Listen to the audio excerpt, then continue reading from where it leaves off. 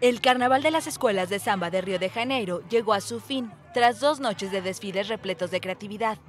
Ante unos 70.000 espectadores, seis agrupaciones coronaron la madrugada del martes los espectáculos en el Sambódromo. Exhibieron animales exóticos y personajes mitológicos a escala gigante. Una de las más destacadas fue Portela, la escuela de samba en actividad más antigua de Río, que está cumpliendo 100 años y lo celebró con un desfile sobre su propia historia. La popular agrupación maravilló exhibiendo trajes de la época de los años 1920 e imponentes carrozas en forma de águila, símbolo de la escuela. Vila Isabel llamó la atención con una imponente escultura articulada del caballero y santo católico San Jorge, de estética futurística, y cuyo dragón soltaba humo por la boca. Y Bella Flor reivindicó a los afrobrasileños, mujeres e indígenas como verdaderos protagonistas de la independencia brasileña.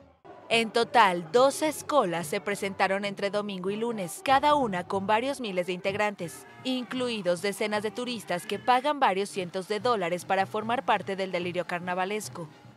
Sí, muy estoy muy feliz, es mi primer desfile. Me estoy estrenando con la Imperatriz hoy y ahora es la escuela de mi corazón. Es mi primer carnaval de muchos.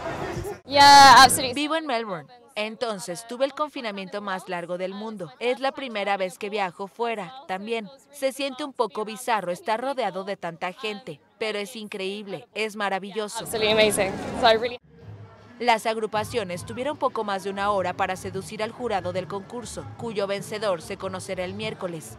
La alcaldía de Río estima que el carnaval atrajo a 5 millones de personas a la ciudad, incluido el callejero, que volvió a celebrarse plenamente en los barrios de la ciudad por primera vez en tres años tras la pandemia lo que supondrá unos 880 millones de dólares, con una ocupación hotelera prevista superior al 95%.